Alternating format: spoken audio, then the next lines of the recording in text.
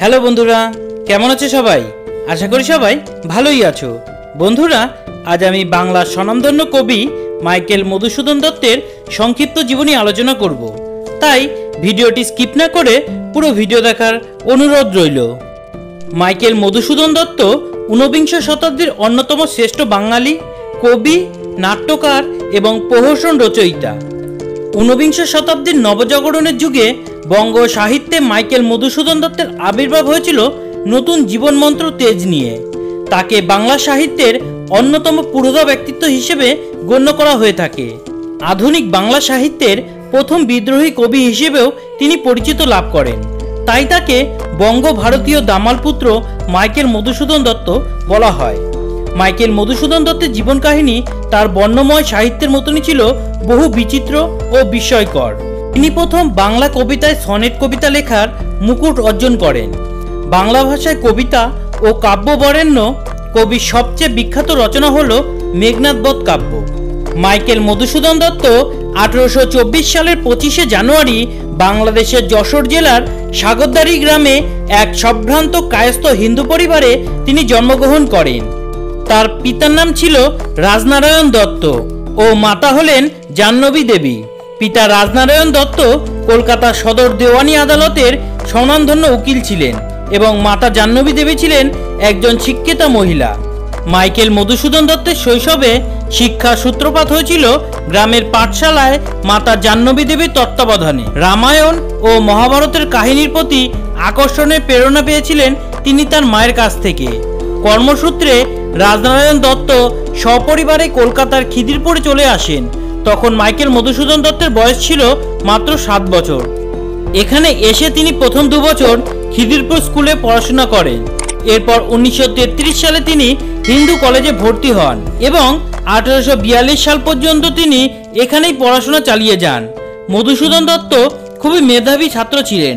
তিনি প্রতি বছর স্কুলে পড়াশোনায় বৃত্তি পেতেন।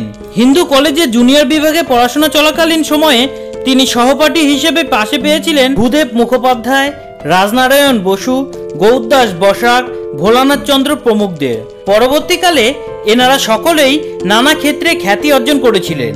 এই কলেজে পড়াকালীন সময়ে মধুসূদন দত্ত এই কলেজেরই অধ্যক্ষ ডিএল রিচার্ডসনের খুব প্রিয় ছাত্র হয়ে ওঠেন। রিচার্ডসন মধুসূদনের মনে কাব্যপ্রীতি সঞ্চারিত করেছিলেন, কারণ তিনিও একজন কবি ছিলেন।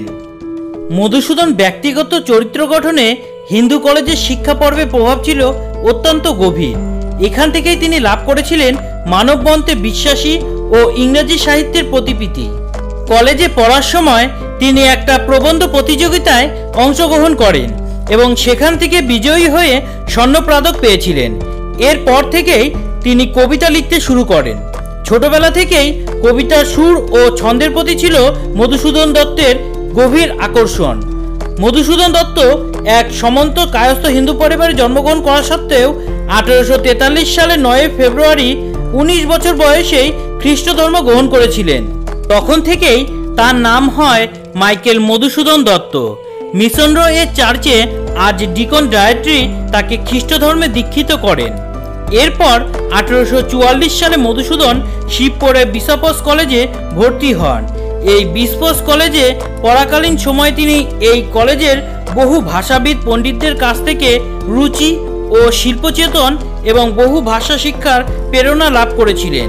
পরবর্তী জীবনে তিনি বহু ভাষাবিদ হিসেবে পরিচিত লাভ করেন। শিশুকালে তিনি তার বিদ্যালয়ে ফরাসি ভাষার মাধ্যমে তার ভাষা শিক্ষা শুরু হয়েছিল। এরপর তিনি Greek, Latin, Hebrew, Telugu, Tamil ভাষায় দক্ষতা অর্জন করেন। তিনি ফরাসি ও ইতালি ভাষাতেও কবিতা লিখেছিলেন। মাতৃভাষা ছাড়াও তিনি আরও বারোটি ভাষা জানতেন। আঠারোশো আটচল্লিশ সালে মধুসূদন দত্ত অজ্ঞাত কারণে মাদ্রাজে চলে যান। সেখানে তিনি মাদ্রাজ মেল অরফ্যান অ্যাসাইলাম বিদ্যালয়ে ইংরাজি শিক্ষকের পদে চাকরি গ্রহণ করেন। পরে আঠারোশো সালে তিনি মাদ্রাজ বিশ্ববিদ্যালয়ের সাথে সংযুক্ত বিদ্যালয় বিভাগে দ্বিতীয় শিক্ষকের গুরুত্বপূর্ণ পদ গ্রহণ করেন। মধুসূদন দত্ত মাদ্রাজে সাত বছর ছিলেন। এই সময় তিনি শিক্ষক, সাংবাদিক এবং কবি হিসেবে খ্যাতি ও সামাজিক প্রতিষ্ঠা লাভ করেছিলেন। আঠারোশো সালে মাদ্রাজে থাকাকালীন সময়ে মধুসূদন দত্তের দুটি পুস্তকার প্রথম প্রকাশিত হয়েছিল। এই দুটি পুস্তকার হল the visions of the past O the captive lady. এরপর মধুসূদন দত্ত কলকাতায় ফিরে আসেন। কলকাতায় ফিরে আসার পর বাংলায় অনেক নাটক, কবিতা ও কাব্য লেখেন। তার সাহিত্য সৃষ্টিকে কেন্দ্র করে দেশের বুদ্ধিজীবী মহলে প্রবল ভাবা আন্দোলনের সৃষ্টি হয়েছিল। বাংলা সাহিত্য নতুন প্রাণ সম্পদে পূর্ণ মূর্তির আত্মপ্রকাশ ঘটেছিল বাঙালি জাতির হৃদয়ে। সংবর্ধিত ও প্রতিষ্ঠিত হয়েছিলেন কবি মাইকেল মধুসূদন দত্ত তার রচনা সম্প্রসারণের জন্য। মাইকেল মধুসূদন দত্ত আঠারোশো সালে মাদ্রাজে থাকাকালীন তিনি রেবেকা মাস্টাভিসকে বিয়ে করেন এবং তাদের দাম্পত্য জীবনে দুটি পুত্র ও দুটি কন্যা সন্তান হয়েছিল। মধুসূদন ও রেবেকার দাম্পত্য জীবন বিশেষ সুখকর ছিল না। তাদের দাম্পত্য জীবন আট বছরের স্থায়ী হয়েছিল। আঠারোশো একান্ন সালে মধুসূদন দত্তের মাতৃবিয়োগ ঘটে।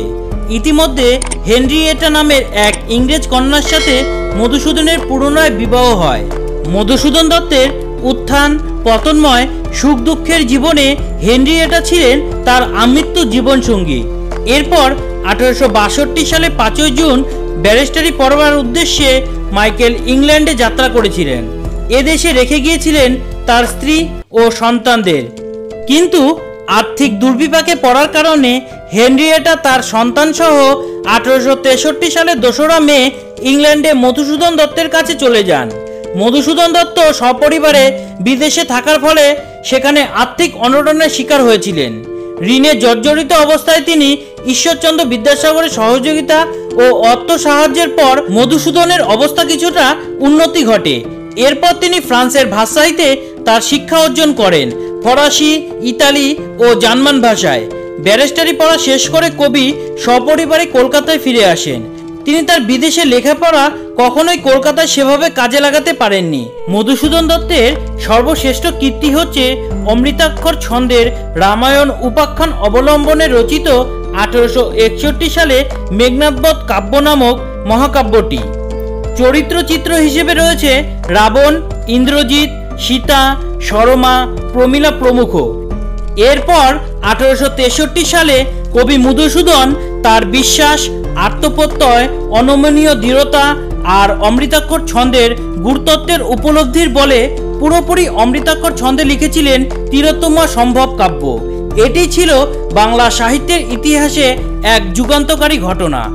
এরপর কবি সৃষ্টি করেছিলেন বজ্রাঙ্গনা কাব্য, বীরঙ্গনা কাব্য এবং চতুর্দশপদী কাব্যবলী। মাইকেল মধুসূদন দত্তের রচিত সাহিত্যের সার্থক নাটকটি হল আঠারোশো সালে রচিত শর্মিষ্ঠা। এরপর একে একে তিনি কৃষ্ণকুমারী, পদ্মাবতী, মায়াকানন প্রভৃতি নাটক রচনা করেন। তাছাড়াও তার প্রহসনমূলক রচনার মধ্যে উল্লেখযোগ্য হল বুড়ো শালিকের ঘাড়েরও। একেই বলে কি সভ্যতা? মাইকেল মধুসূদন দত্তের শেষ জীবন খুবই অত্যকষ্টে ও অভাব অনটনের মধ্যে কাটিয়েছিলেন। তিনি তার জীবনে কখনোই ব্যয় সংকোচনে আগ্রহী ছিলেন না। তাই তিনি ঋণে জর্জরিত হয়ে পড়েন। আঠেরোশো তিয়াত্তর সালে ছাব্বিশে জুন মধুসূদন দত্তের জীবন সঙ্গিনী হেনরিয়েটা মারা যান। স্ত্রীর মৃত্যুতে কবি ভীষণভাবে ভেঙে পড়েন। স্ত্রীর মৃত্যুর মাত্র তিন দিন পর উনত্রিশে জুন দুপুর দুটোর সময় হাসপাতালে তিনিও শেষ নিঃশ্বাস ত্যাগ করেন। মাইকেল মধুসূদন দত্ত তার কাব্যের মাধ্যমে আজও অম্লান হয়ে রয়েছে বাঙালি হৃদয় মন্দিরে। কবি মধুসূদনের নাম চিরকাল স্বর্ণাক্ষরে লিখিত থাকবে। বন্ধুরা, আজকে এই পর্যন্তই। ভিডিওটি ভালো লাগলে অবশ্যই লাইক এবং শেয়ার করবে। কমেন্ট করে জানাবে তোমাদের গুরুত্বপূর্ণ মতামত। সাবস্ক্রাইব করবে আমাদের চ্যানেলটিকে এবং পাশের বেল আইকনটি টিপে অল করে দেবে, যাতে নতুন ভিডিও নোটিফিকেশন তুমি সবার আগে পেতে পারো। জয় হিন্দ, বন্দে মাতারাম।